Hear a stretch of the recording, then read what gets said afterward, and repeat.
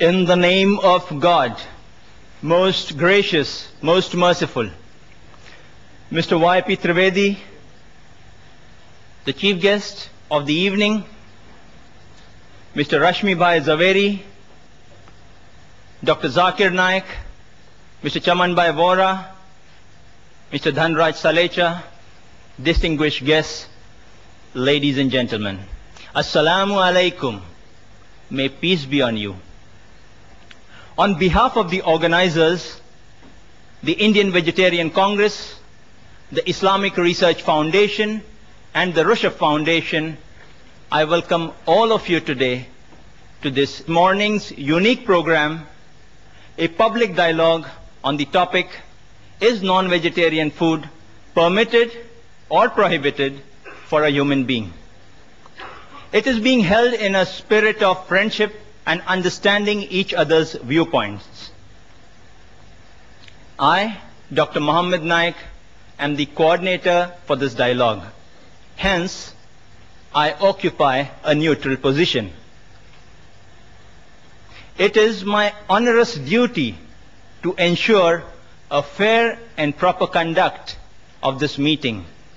Therefore, I would request both our speakers as well as the audience to maintain decorum for a healthy and lively debate as well as a dialogue.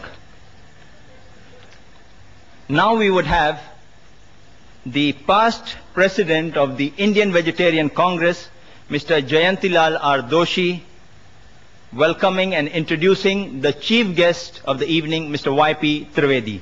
Mr. Jayantilal Doshi.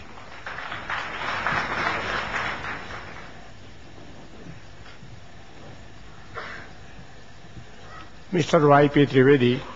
He is a very senior advocate in Supreme Court of India and leading tax expert of Mumbai. His activity in economics field inside ex-president of Indian Mercantile Chambers and active members of chairman of many other institute, trade and industrial body. In professional field, he was president of Chambers of IT consultant and vice president of IT Tribunal and Bar Association. In political field, he is traders of Maha Pradesh Congress Committee, BRSCC. He is also chairman and director of many public limited company, Reliance and Dena Bank. In education field, he was location of matters degree in Lower and Bombay University. He regularly continues article of various symptoms different papers and journalists. He has addressed a member of senior and meeting of Rotary, Lions Club, etc. and Air India and Doordarshan, etc. Thank you. Now we have Mr. Dhanraj Salecha, President of the Rushabh Foundation, presenting mementos to our chief guest, as well as garlanding him on behalf of the organizers.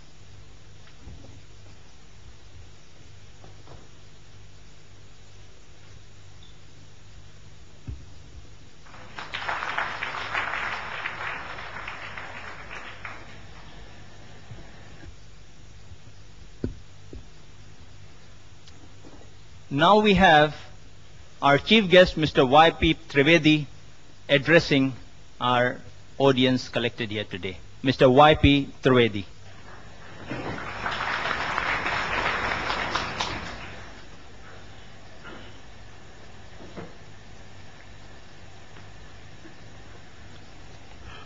Dr. Zakir Naik, Mr. Rashmi Zaveri, Dr. Mohammad Naik, Dr. Dhanraj Salecha, Chimanlal Vora, and friends.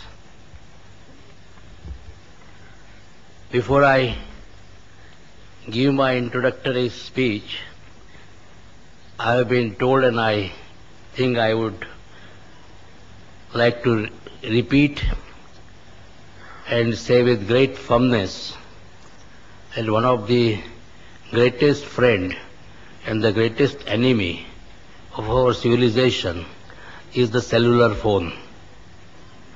And all those who have got cellular phones, it's a, it's a great friend, you know, when you are in absolute necessity and when you are in a meeting, it's a great enemy. So I would request all those with cellular phones, please switch off the phone and do not disturb because it disturbs the train of thinking of those who are speaking, on those who are attending and other listening very attentively.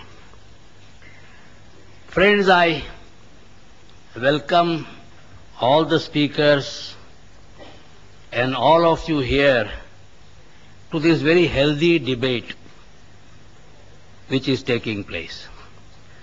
I believe that this should be the beginning of similar debates which should take place in the times to come.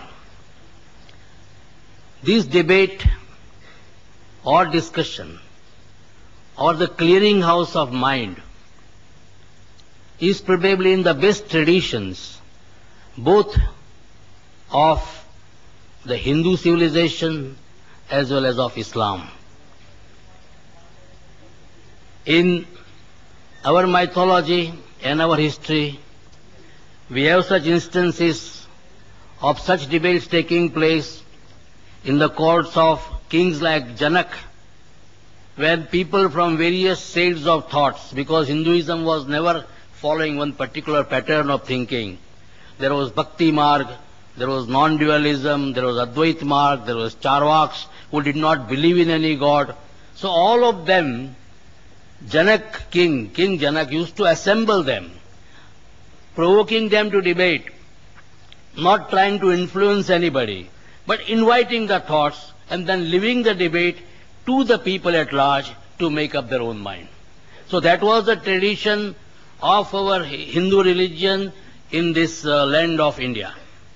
That was also the tradition of Islam. In the immediately succeeding years after the demise of Prophet Muhammad, Islam was a religion, Arabia was the place which was the place of learning, logics, mathematics, astronomy. All this was being discussed and the great scholars of Arabia imbibed the thought, made inquiries, and transformed that knowledge thereafter to the Western world. According to me, the Renaissance movement in Europe owes its origin to the thinking of these Arab thinkers who were great stalwarts in their own time. We very often associate Arabia with thinking about Arabian Nights. But let me tell you that apart from the strides which they made in the field of fiction and some of the most imaginative fictions. At the same time, in the field of science, technology, thinking, logics, mathematics, they made great strides. That is why today also, in spite of all the achievements, the West is still talking about the numerals as the Arabic numerals. And this is how Islam also in those days used to think openly. This, that tradition has been continued because I believe in the realm of King Akbar. He also used to call people from all religions, even the Christians who came at that time. They landed on the shore of India. They were also called and they were asked to explain what are the tenets of the religion. So this sort of healthy debate is something which is an absolute necessity for the development of any cultured, civilized and tolerant society. Dr. Ora said that he is neutral. Let me tell you, tell him and all of you, I am also neutral. If I would not have been neutral, I would not have been made the chief guest. And I do not wish to desire to make any final comment on the subject. But one school of thought I would like to narrate here, which I read at some place, that all those animals in nature who are grass eaters, the animals which are thriving on leaves, they have got bovine teeth. They do not have canine teeth. All those animals which are eating flesh, meat eaters, they have got canine teeth, what we call rakshi. Human being is the one species which has got both bovine teeth as well as canine teeth. So it is very likely that nature wanted this species to survive. Nature considered that this species, human beings, are the most important species which should be there in this world. They should try to contribute, they should try to carry my message and take it further. So they wanted, the nature probably wanted this species to survive under all circumstances. Nobody can deny. Then the early Homo sapiens or Homo erectus, they're all flesh eaters. At that time there was no agriculture. If you look at the evolution as we now learn from science, it is only the advance, advance of civilization that people started taking to agriculture. When they started taking to agriculture and started growing corns, some of them became vegetarian, some of them remained non-vegetarian, some of them became the mixture of both. They also took vegetarian as well as non-vegetarian. And most of the non-vegetarian people today also eat vegetarian food as a part of their diet. I believe that in this aspect, when you are talking whether it is permitted or prohibited, we are talking about permission or prohibition by the religion. In this one aspect, Dr. Naik, I would probably like to differ from you. I believe that it is not the function of religion to tell us what we should eat and what we should not eat. Religion should try to purify our soul, purify our conscience, talk about good behavior, lead us to the path of God. What we should eat, what we should not eat is something which the doctors should tell us. The nutrition experts should tell us.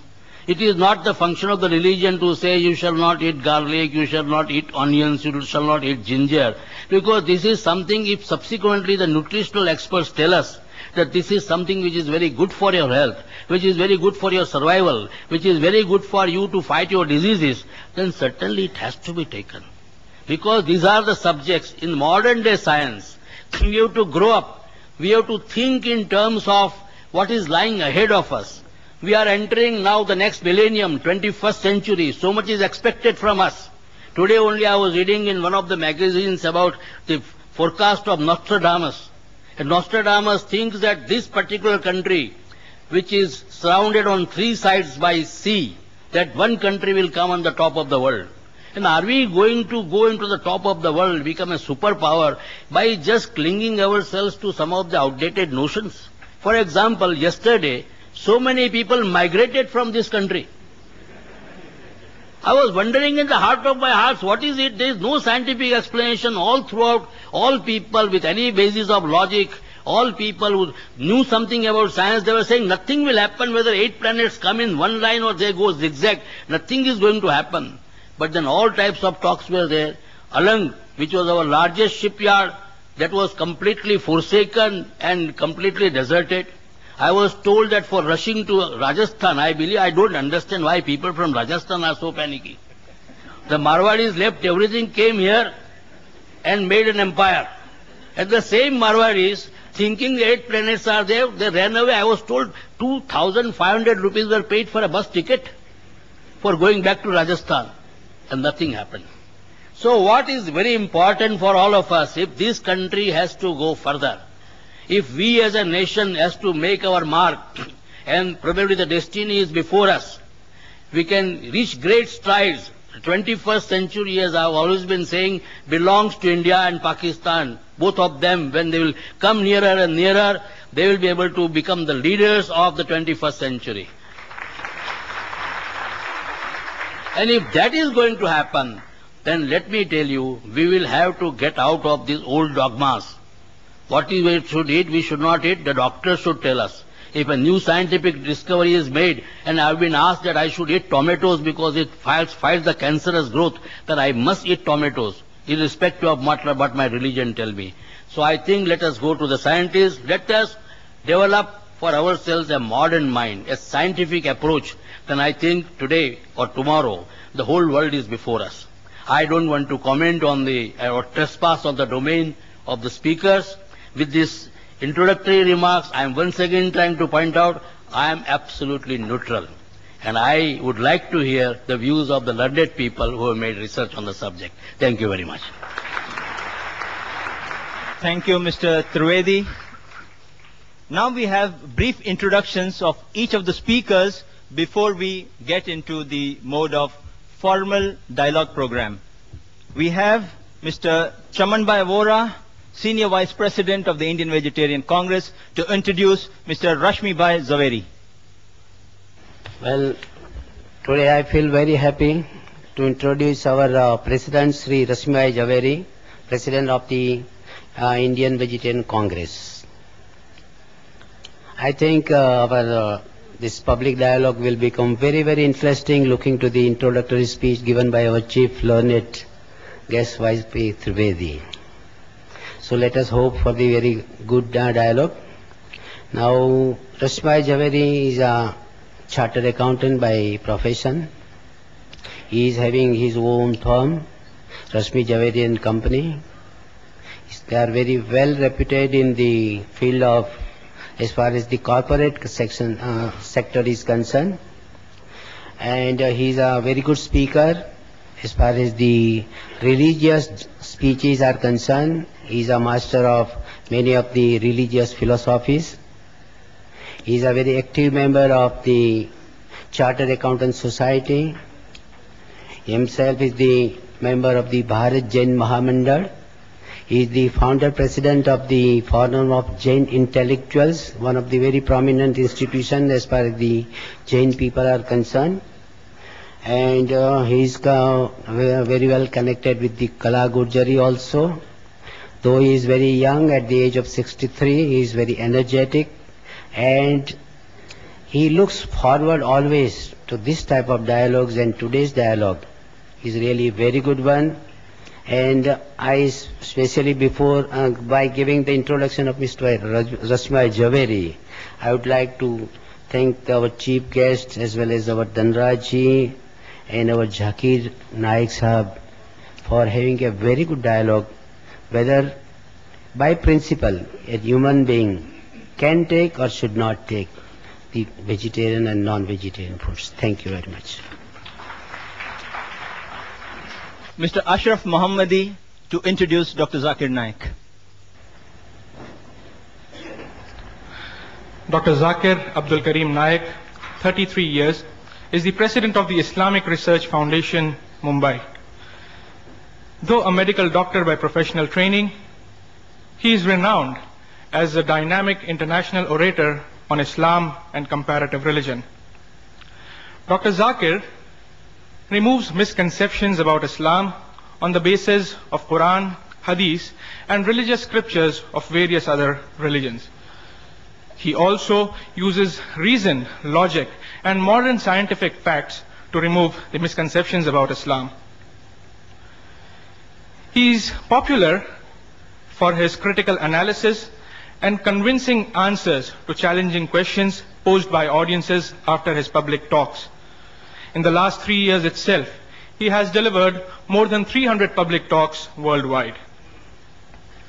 Dr. Zakir also appears on various international TV and satellite TV channels throughout the world.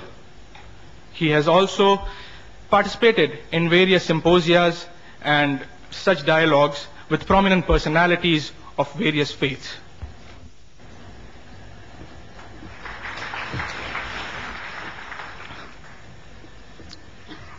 I have been asked by many persons,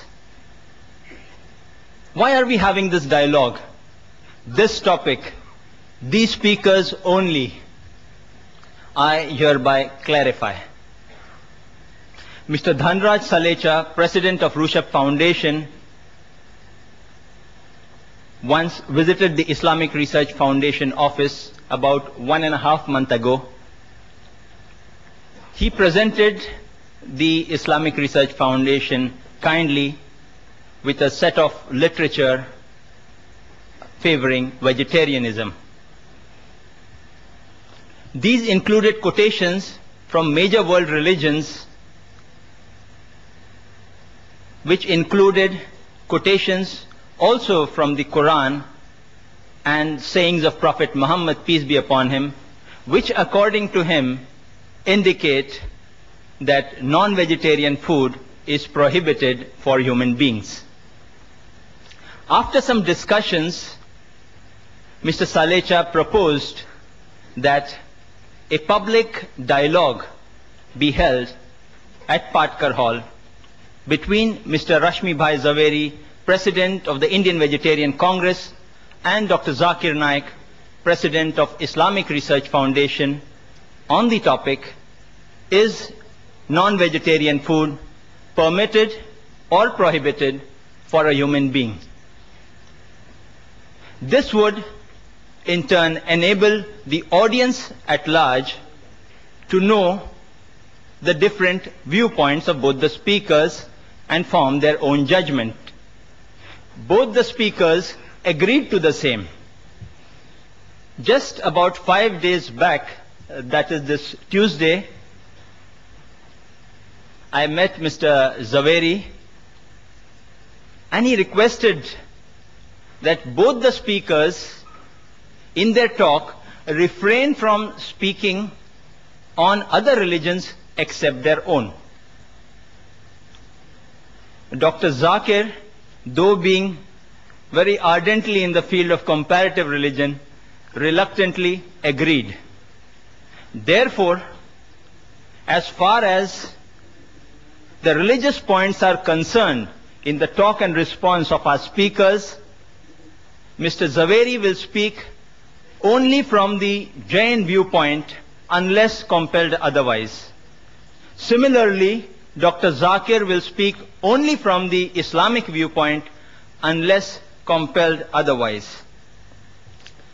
This in brief is the clarifying background to the dialogue. The format for the dialogue will be as agreed to and decided fair by the speakers. Mr. Rashmi Bhai Zaveri will first address us for 50 minutes on the topic, is non-vegetarian food permitted or prohibited for a human being? Then Dr. Zakir Naik will make his presentation for 50 minutes on the same topic. This would be followed by a response session in which Mr. Zaveri will respond for 15 minutes to the matter presented by Dr. Zakir. Similarly, Dr. Zakir too would then respond for 15 minutes to the matter presented by Mr. Zaveri. When five minutes are left for the conclusion of the talk or the response time, I would put before each speaker a date saying five minutes left in which time they are expected to conclude.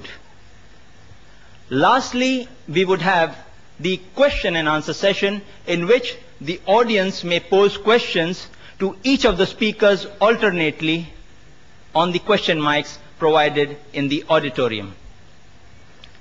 Written questions on slips of paper would be given secondary preference if time allows us. Now, I would request our first speaker, Mr. Rashmi Bhai Zaveri, to present his address. Ladies and gentlemen, Mr. Rashmi Bhai Zaveri.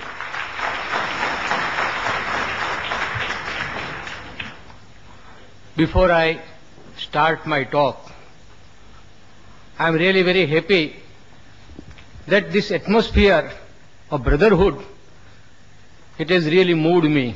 And I will request Dr. Zakir Naik to come forward and let's have a Gale Lagja scene.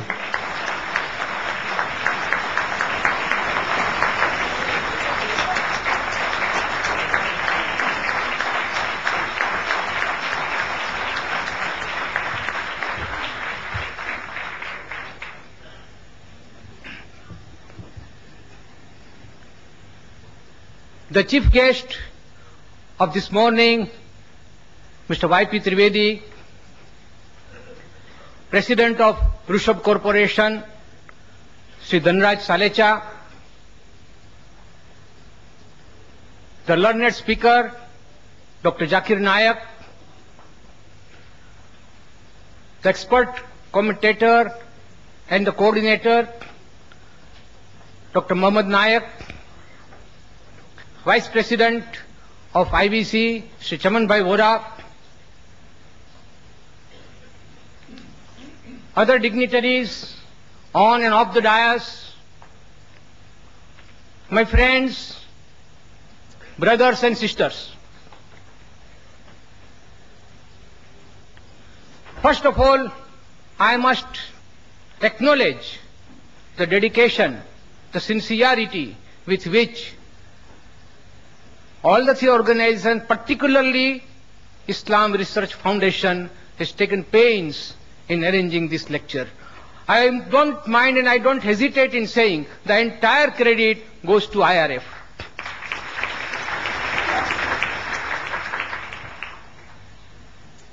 Friends, the topic today is, is non-veg food permitted or prohibited for a human being? Any argument or any statement for that matter is always to be considered from a relative point of view.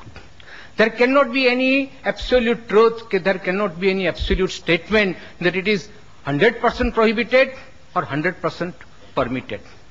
So friends, let's see, as very rightly put in by Mr. Trivedi who started the ball rolling, that will not speak only from religious point of view. Religious has to enter. You can't uh, um, divorce it from today's subject. But I would like to speak on this topic that non-veg food is prohibited for human being from various angles. For example, geographical reason, historical reason, moral, ethical and religious reason, economical, environmental and ecological reasons, natural reasons and psychological reasons, and above all, medical reasons.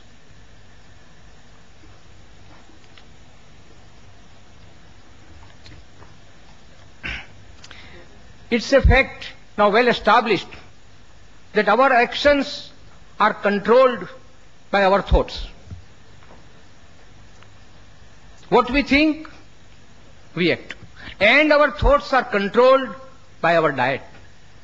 As we eat, so we behave.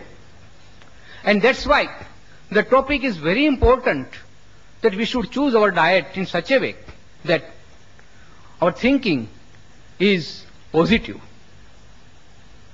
The word positive will include everything. And believe me friends, not only all the religions, but the medical science has now proved that the food that we take it definitely influences our thinking and so our behavior. Friends, there was a time when there was no alternative available, as Mr. Trivedi rightly put. There were places on this world, and there are even now places where there is no availability of vegetation. It is simply not possible because of the extreme circumstances. But now the world has progressed so much that there is a very advanced system of transportation which is available to us. And any type of commodity, including food, can be transported from one part of the globe to another without any problem. Now that when we have got alternatives, we have to think about this, which alternative is better from all the angles that which I have described earlier. And that's why, friends, I am now coming to my topic proper, that non-veg food is not permitted now at this point of time, not only for India, but for other countries of the world also. First of all, I will say that all Indian philosophies have stated that we should not harm any living being,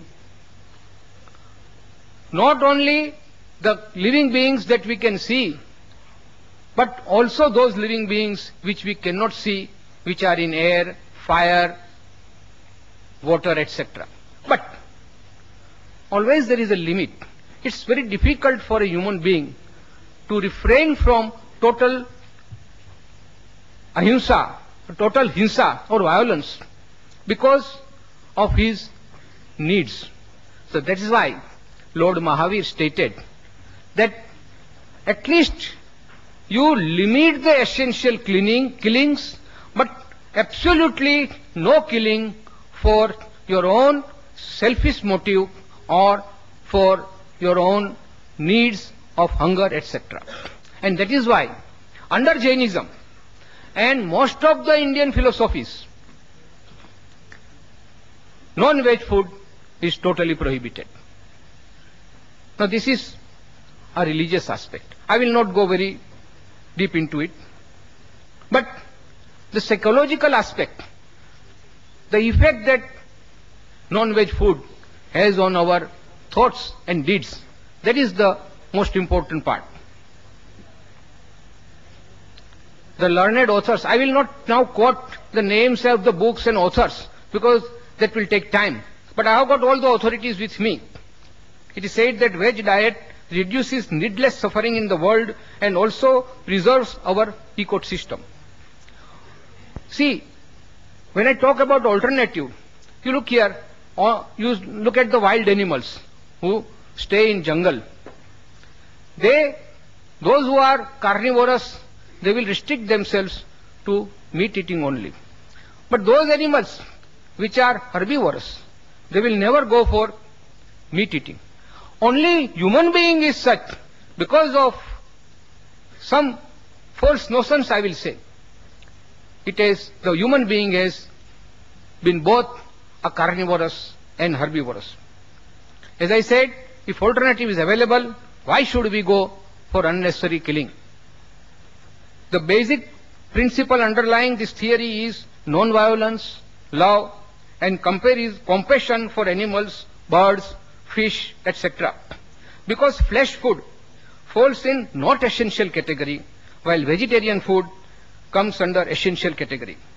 Psychologically also, cruelty, instant impulses, urges, basic animal instincts, impatience are all the necessary consequences of flesh food. By eating animal flesh, man will ingest all the animal instincts, the four basic animal instincts of food, fear, possessiveness, and reproduction. These are there in men. I don't say no. But they are the basic instincts. We have got a reasoning mind. We can rise above these basic instincts. instincts. We can control our impulses and urges and become, then only we can become super animals or super beings. Otherwise, human being and animals, there is no difference at all.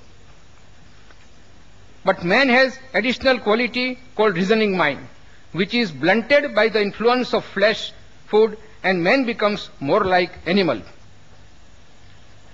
The scientific reason for this is that flesh is an integral part of animal body. It is full of tamasic value. There are three types of values, tamasic, rajasic, and sattvic. Tamasic, in short, is the brutal sense or brutal instincts of animal. A man becomes more like an animal, he is callous, he is cruel, he is ignorant, if he is eating the food that is the part of the bodies of the dead animals. The crime rate is higher, aggression in the natural is the natural consequences of fresh food. It distorts the thinking and reasoning. It is not only a problem by itself, but it creates many other problems like increase in crimes, cruelty, etc. The virtues like compassion, sharing, self-control are obliterated by the import of, impact of flesh food. If we insist on treating animals more brutally, then our behavior will also become less human and more brutal. I will quote one shairi that what will happen if this animal instincts is so embedded in our heart, what will become of man? आदमी की शक्ल से अब डर रहा है आदमी आदमी की शक्ल से अब डर रहा है आदमी आदमी को लूट कर घर भर रहा है आदमी आदमी ही मारता है मर रहा है आदमी आदमी ही मारता है मर रहा है आदमी समझ कुछ आता नहीं क्या कर रहा है आदमी friends This is because the man has become an animal. He does not then distinguishes between whether he is an animal or a human being. Because this is the influence of the food, the flesh food that he eats. Flesh food is the cause of PMS syndrome, that is preposterous mood swing and psychological distortions. Thus, it is now established that if flesh food is the root cause of moral and spiritual degeneration. We at Indian Vegetarian Congress, we are working for important task since it will lead to a more humane world at peace with animal kingdom and with each other. We at IVC define a vegetarian as one who does not at any time or under any circumstances eat meat, fish, fowl, eggs or any other type of flesh food. Vegetarian does not come from vegetable. Now this is very important friends, understand. The word vegetarian does not come from vegetable. It, the root is, it is derived from the word vegetus, V-E-G-E-T-U-S, meaning whole, sound, fresh, lively. Nothing is more powerful than an individual acting out of his conscience, thus helping to bring the collective conscious to life. That is what Norman Cousin said. And what does Albert Schweitzer has to say? Until man extends his circle of compassion to all living things, man will not find peace for himself. It is a man's sympathy with all creatures that first makes him truly a human being. Now friends, I will go next to the most important topic and that is the medical viewpoint. It's a fallacy friend, it's a myth to say that we don't get enough protein from veg food. And that is why a man must have flesh food that is rich in protein. I'll come one by one to these myths. First of all, I will first give you examples of those strong animals. Say elephant, say rhino. These are the strongest animals on this earth. Are they meat eaters? No. They are pure veg. Even if they die, they will not eat meat. Even then, they are the strongest. Take example of horse. We call of, we talk about horse power. It's the most powerful creature useful for our purpose and that is also a pure vegetarian. And take examples of cattle, cows, bullock and other animals. They are not only useful to us, but they are pure vegetarian. My point here is that those uh, vegetarian animals are strong enough and they don't need any flesh food.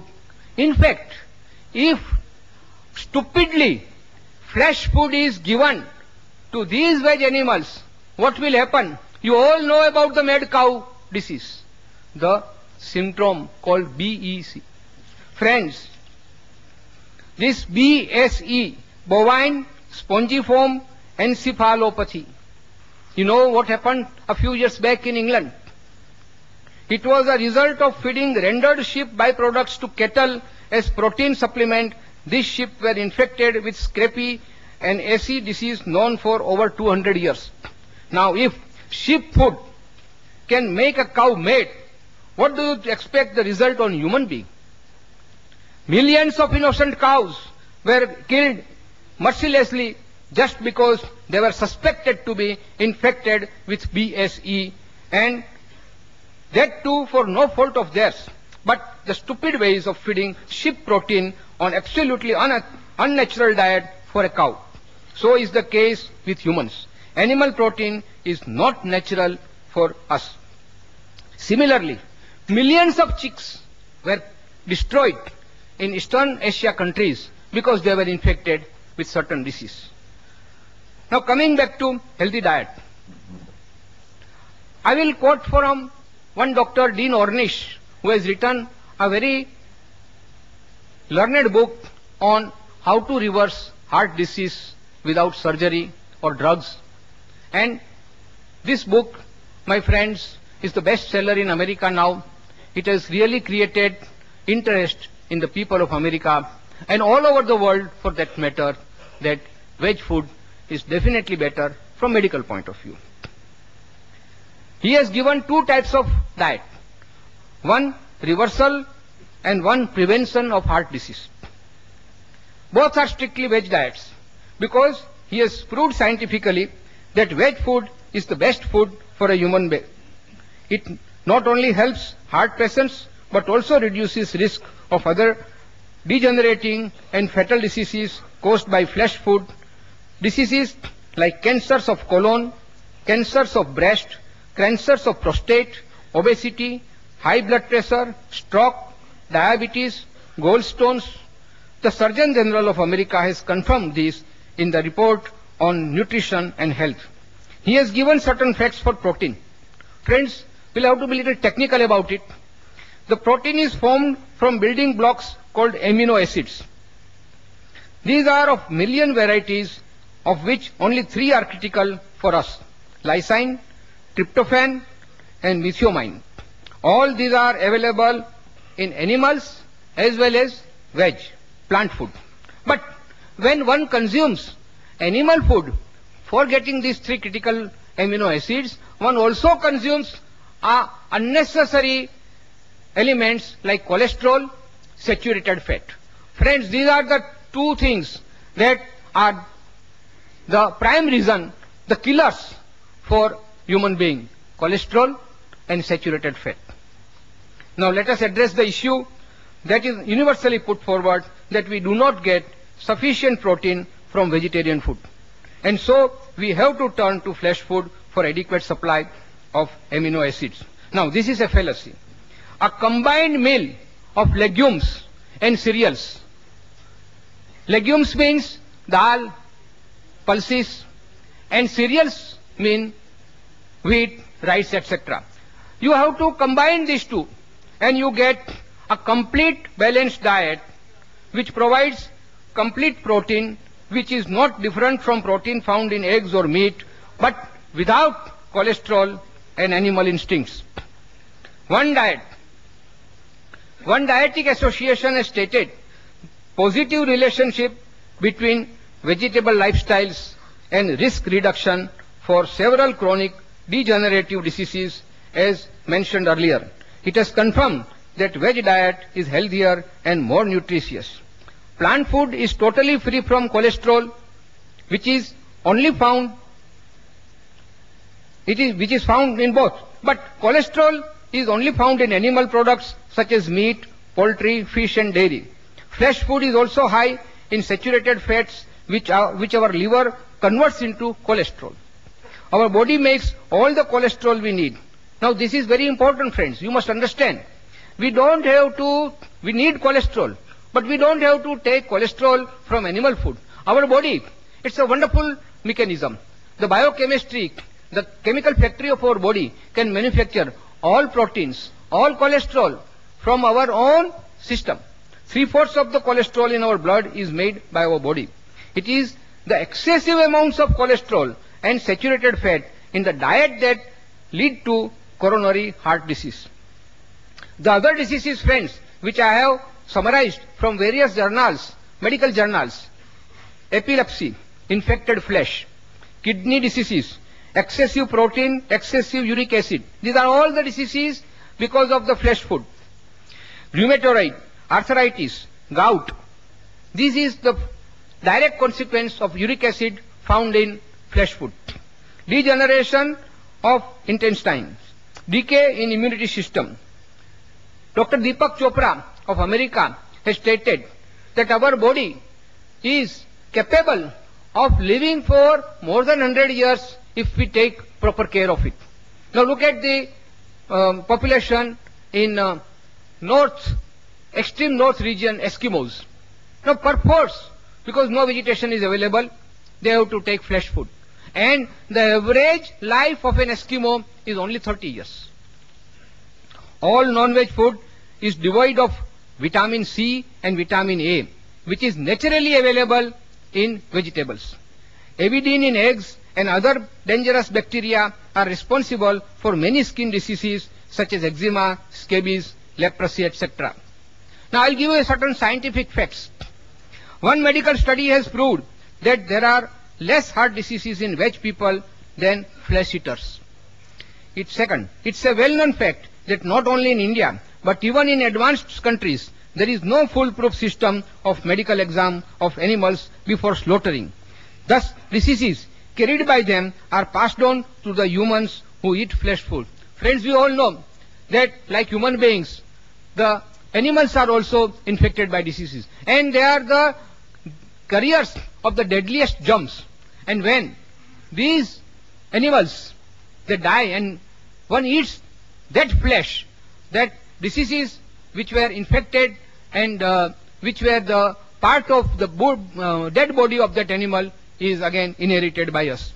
9% of food poisoning cases, 90% of food poisoning cases are in flesh food eaters. When an animal or bird is brought to a slaughterhouse, now this is a friend which is again, it needs some explanation. If you have visited a slaughterhouse or a poultry, you will know this.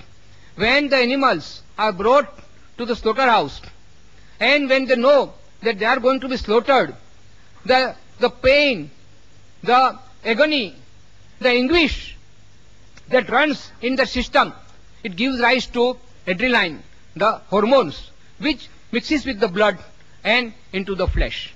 Now these instincts of fear, anguish, anger, despair, all negative points are then becoming part of the flesh food and it passes on to the person who eats. And that is why friends I say that when one eats flesh food, he becomes more like animal and less like a human being.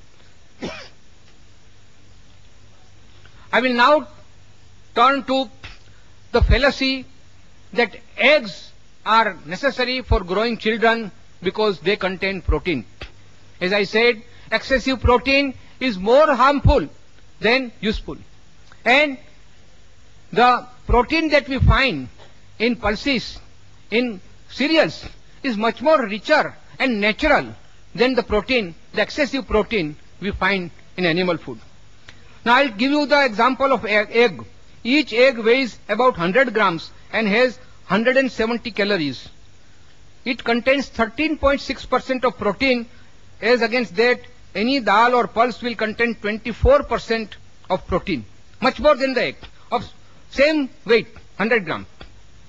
13, egg will contain 13.3% saturated fat. While there is no saturated fat or very little of 1% in cereals and pulses. 450 to 500 milligram of cholesterol is contained in egg, one egg. Amino acid called methionine which destroys vitamin B. Large quantity of sodium salt. All these are part of the egg. And when one eats egg, he is then infected. His body is infected because of this excess protein, cholesterol and saturated fat. It does not contain any carbohydrate. It does not contain any fiber. Friends, the medical science has now come forward and stated that for our digestion, we must have fiber. And fiber is found only in vegetable food and not in the flesh food at all. Now, cost-wise, I'm only comparing the egg now, cost-wise. For one gram of uh, protein, the cost of egg is four to five times more than the pulses, wheat or soybean. Cost of 100 calories, it is almost 10 times the costlier than the pulses. Thus, pulses, wheat, etc. are not only cheaper, but they provide other important nutritions like vitamins, minerals, fiber, etc. Now let's take a look at the poultry farming. Now they call it poultry farming. It's a totally misnomer. I tell you, sir, it is a poultry factory. the way in which the birds are uh, sto- stored, stored there. They have to climb upon one another to eat or drink because there is not sufficient space. Even the poultry people, they say that this is our factory and these are our merchandise. They are goods. Nothing but our products. We are not concerned whether they are living beings or not. They are totally devoid of any compassion, any karuna, and that is why these things are also reflected in the birds. The birds are stored like commodities. They are fed unnatural food and administered drugs which are harmful for humans only to speed up their metabolism so that they can produce more eggs. The poultry people are only interested in making profit. And the result of this, they die premature death. It affects physical as well as mental health, intellectual and emotional growth. Egg is poison for children. Egg begin to rot immediately unless they are put in deep fridge. But when they are marketed, they are they prone to be to, to decay and disease faster. Vegetable egg is again a myth. It's a fallacy. No egg can be a vegetable egg. It's an animal product, an animal product only. It is definitely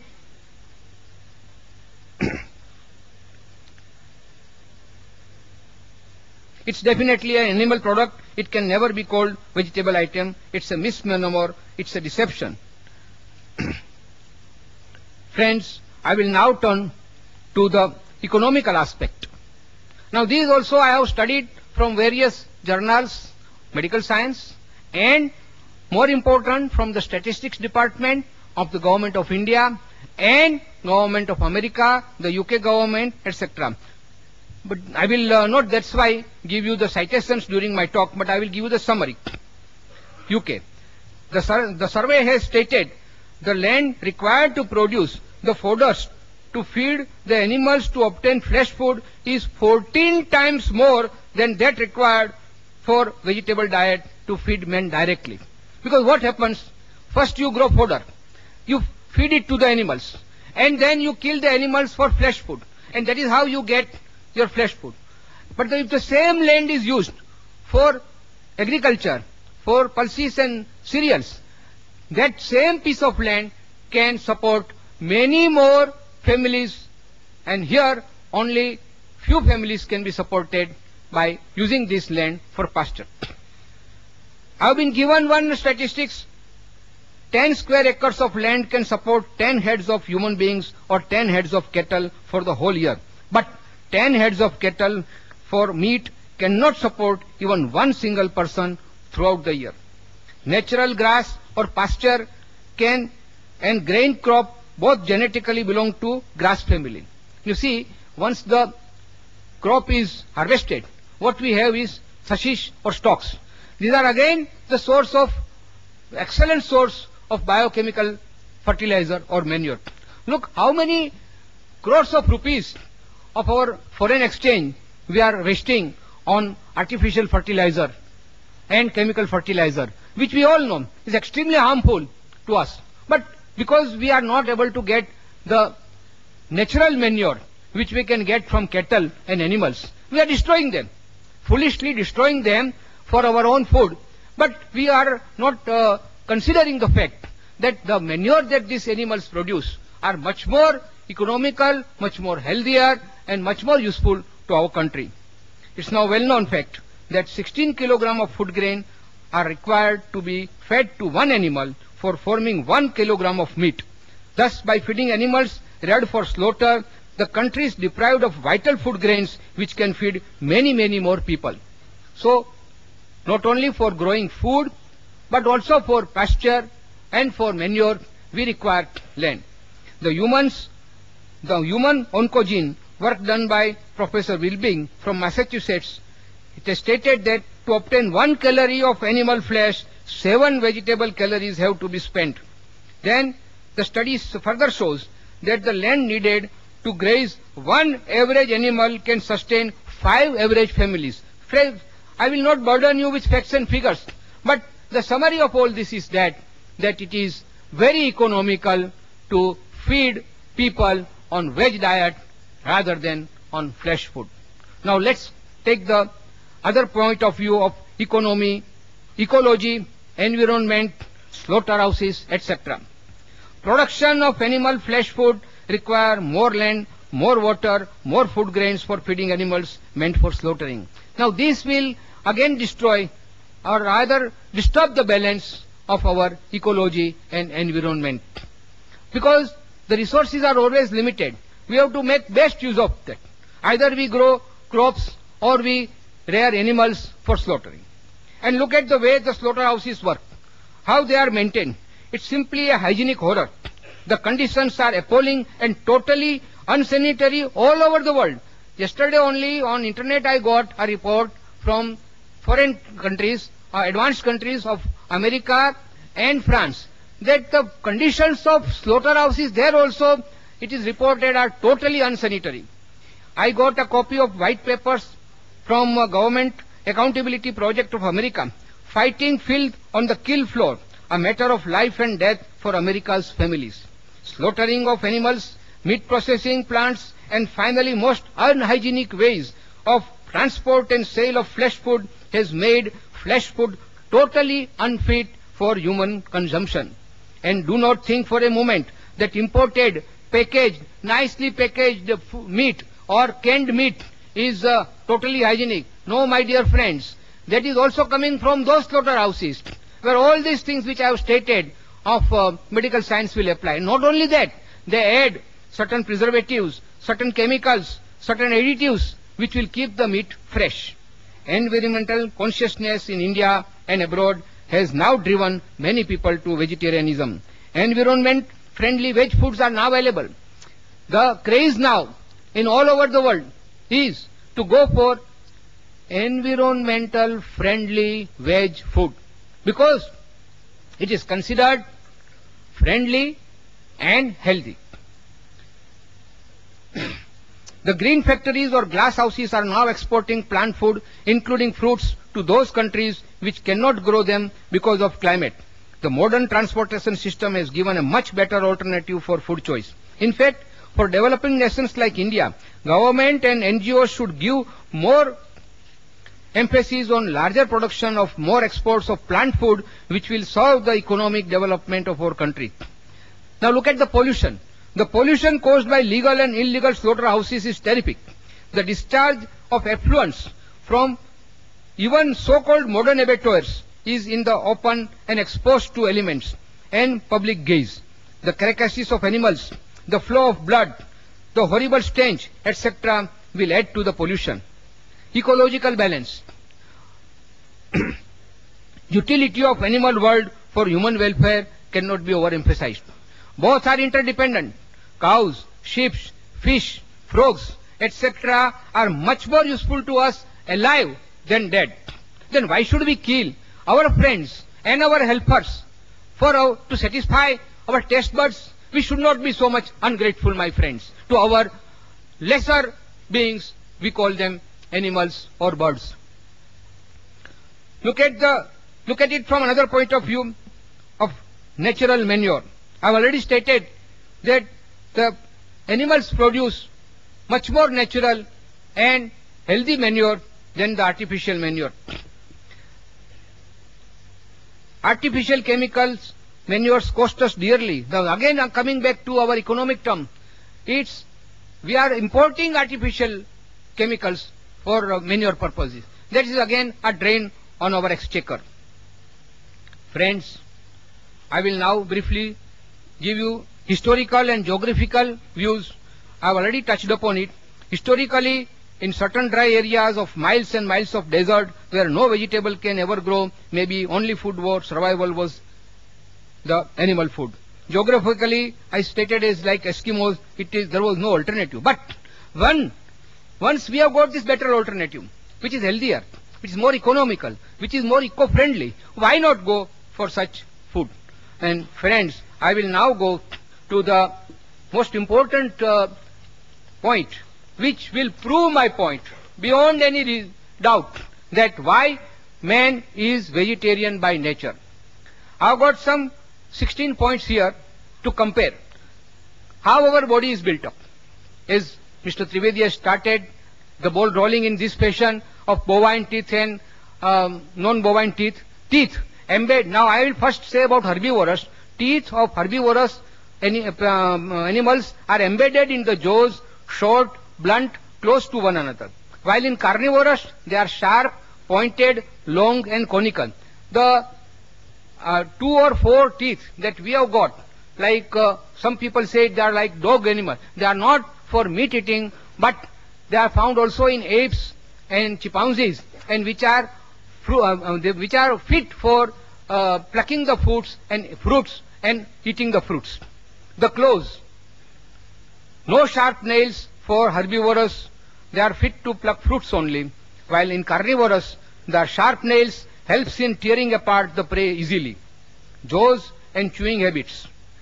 Jaws of a herbivorous will move up and down, left and right, that is in all directions. They swallow their food after chewing.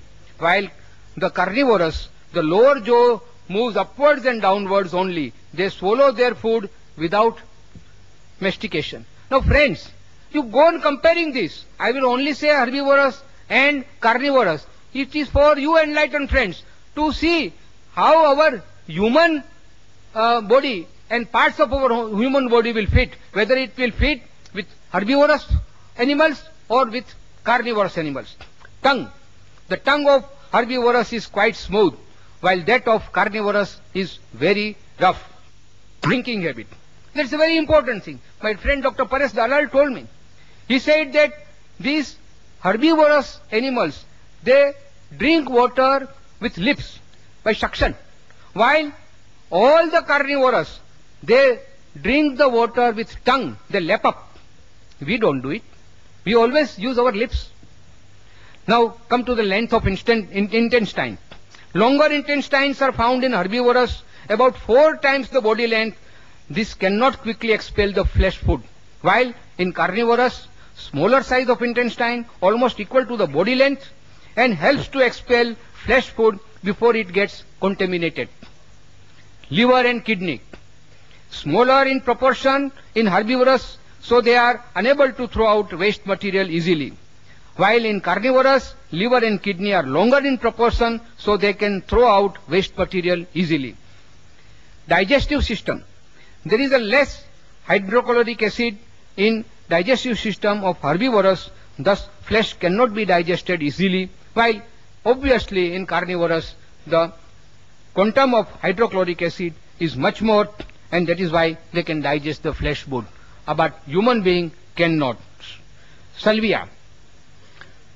In herbivorous, like human being, the salvia is alkaline and contains ptyalin which helps in digesting carbohydrates found in the grains. While in carnivorous, there is the salvia is always acidic. The blood pH is alkaline like human being and herbivorous and acidic in carnivorous. The blood, the blood lipoproteins. Human blood lipoproteins is similar to all herbivorous while uh, it is not similar to that of carnivorous. Sense. Sense is weak. All the senses, particularly the eyesight, is weak in herbivorous and very powerful in carnivorous. Sound. The voice is not the herbivorous sound or even the human sound is not frightening unless of course we can make it now frightening. But by nature the sound of all herbivorous is mild while that of carnivorous like lions and tigers is very coarse and frightening. And lastly, infants. Normal sight power of right from now see the young ones of uh, herbivorous. Right from the moment of birth, they can see very clearly. While all the infants of carnivorous wild animals are blind at least for a week. Now friends, it is for you to justify whether man fits by nature in this category of herbivorous, grain eaters or in the category of carnivorous, the flesh eaters. Now friends, I will now tell you about certain great persons who condemned flesh food. Looking at the world's history, we find that all great scholars, philosophers, scientists like Einstein, artists like Leonardo da Vinci, poets like Milton, Pope, Shelley, and writers like George Bernard Shaw, and religious leaders, of course, of the world. Now, who are those people? The mathematician, the Pythagoras, the Plutarch, Newton and Einstein, the scientist, Dr. Annie Besant, Reverend Dr. Walter Walsh, George Bernard Shaw, Tolstoy, the Greek philosophers Socrates and Aristotle.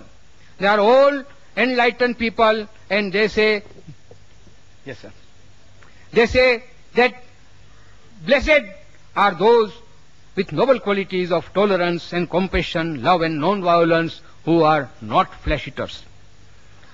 Now friends, I will quote from George Bernard Shaw, which is very famous and widely published. We are living graves of murdered beasts. Listen what he says. We are living graves, moving graves of murdered beasts, slaughtered to satisfy our appetites. Like carrion crows, we live and feed on meat, regardless of the sufferings and the pain. Doctors once advised Bernard Shaw. He was very ill. He said that you must take some meat soup. Bernard Shaw said, I'll prefer death than to have anything with flesh food. And believe me friends, he survived and the doctor turned vegetarian. In the similar way, Mahatma Gandhi, his son was very sick. He was advised meat soup and he refused and the son survived. Why I am telling you friends all these things? That Mr. Trivedi said, yes, medically, whatever that doctor says, we have to accept, no doubt. But as I said in the very first thing in the beginning I said, everything is relative. When doctor says something, he will say only from medical point of view. And friends, we are not living here. The, we are here on this earth, not only to survive. Survival is important, but not at the cost of others and inflict pain on others. Thank you very much, friends. 21st century will belong to vegetarians. Okay, I think I have